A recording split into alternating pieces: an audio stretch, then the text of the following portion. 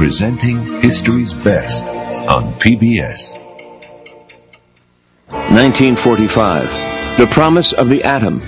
Nuclear energy would power the nation. The bomb would end all war. But with the bomb comes an explosion of fear. Fallout. Just one in a series of extraordinary films. People's Century, tonight. Brought to you by Conseco, where we believe that leaping at certain financial opportunities can make a secure financial future harder to grasp. Conseco, our goal is to help you protect wealth, create wealth for life. Major funding for People's Century was provided by the Corporation for Public Broadcasting and the annual financial support of viewers like you. Additional funding was provided by the Lowell Institute.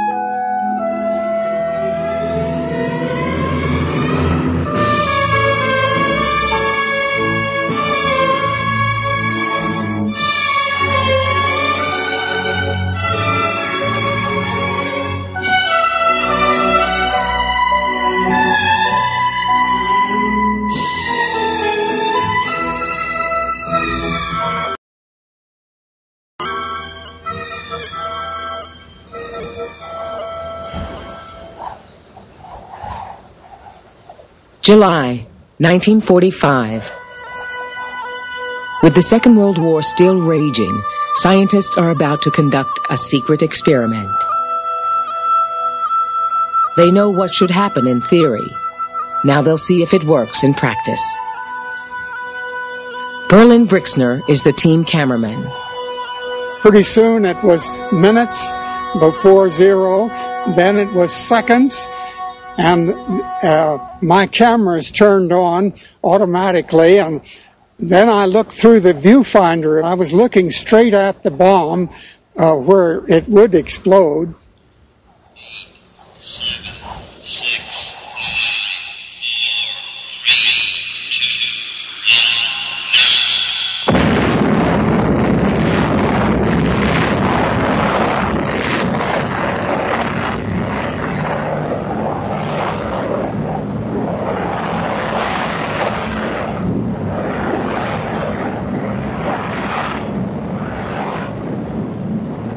I saw the ball of fire rising, and then I realized I had to get to the panoramic controls of the camera and follow the bomb up, and then I did follow the ball of fire rising.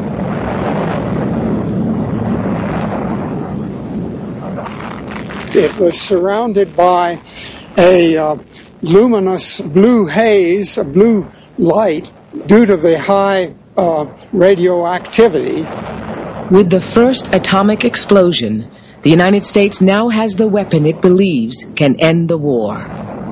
Well, I was so dumbfounded that I just sat there thinking about the fact that uh, we had been successful in um, making the bomb and that soon the World War II would be at an end because we would now use that bomb on Japan.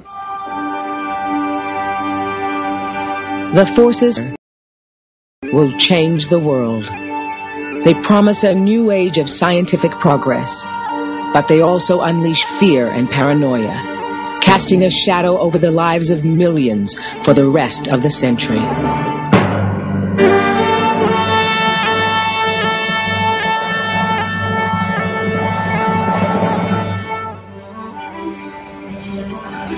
The nuclear age began with an arms race conducted in utmost secrecy in the early 1940s. Huge processing plants were hurriedly built by the United States Army in a desperate attempt to develop an atomic bomb before Germany.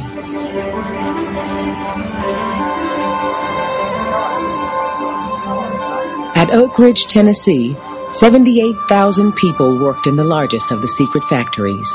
Among them was a young mechanical engineer from Lehigh University.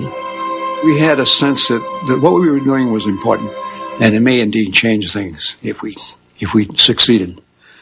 And even though we did not know exactly, maybe some did, don't get me wrong, but the large por- portion of us did not know exactly what we were doing. But there was this sense that, that we were doing something that was important to the war effort. And if we succeeded, it would make a change. With an eye to history, the project leaders later reenacted the moment when they produced an entirely new substance. Here it is, General Groves. Plutonium. Well, that's the uh, first I've ever seen. But uh, after this, if you don't mind, I wish you'd uh, hold something under it, because after all, there's about over $50 million in that tube. Though the secret weapon had been built with Germany in mind, the war in Europe was now over. The bomb was to be used against Japan.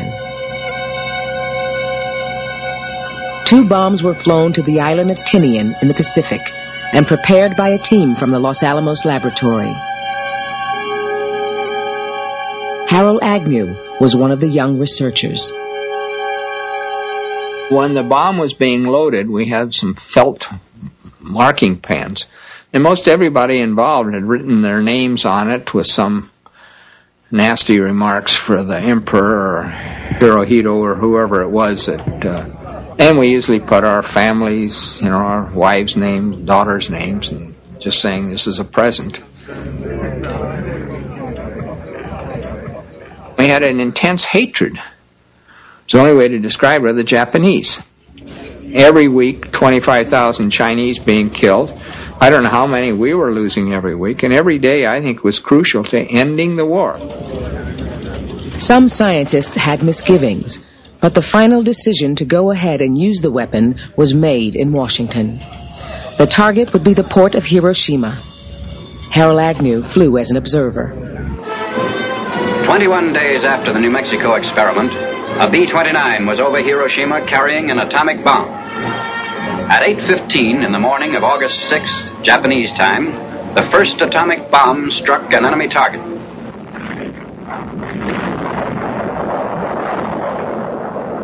We did get a flash of light in the cabin, so we know it had gone off. And I know I wrote in my notebook, wow, it really went off. It really did.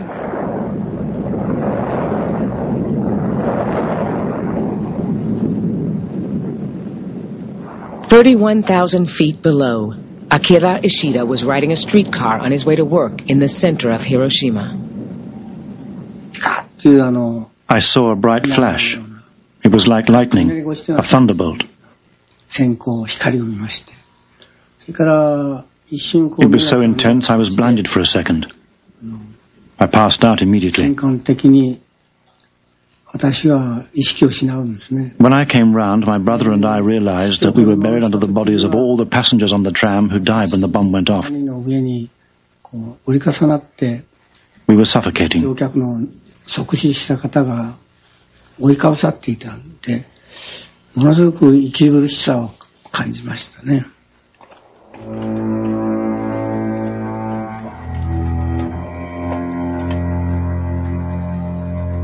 The destruction was unlike anything ever seen.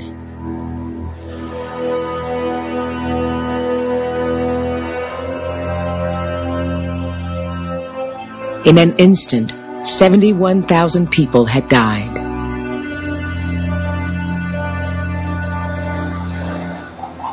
All the passengers in Akira Ishida's streetcar were killed, except him and his brother. They started walking. 石段の上にですね、一人のこう全身大やけどをしたこう Sitting on stone steps covered by blackened debris was a woman. Her entire body was charred and her hair was completely burnt. She was embracing a red burnt baby in her arms and trying to breastfeed it with her red burnt nipples, calling the baby's name again and again. お乳を飲ませていらっしゃったんですね。